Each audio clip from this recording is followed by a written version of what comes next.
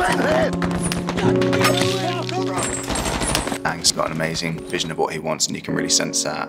Ang Lee is creating a movie about the psychology of young men back from war. It's really good to have you back, little brother. And it humanizes a soldier in a way that provokes thought.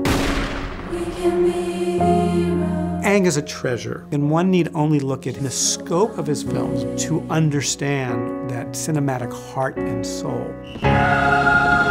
It all starts with the leader, and Ang Lee is the best. Without sounding simplistic, I genuinely would have done anything with Ang. It was like one of the coolest things I've ever been a part of.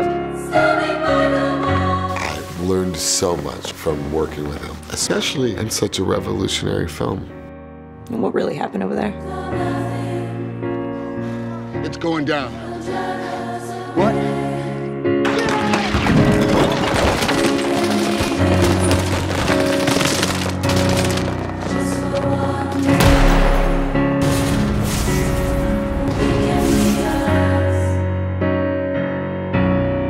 Just for one.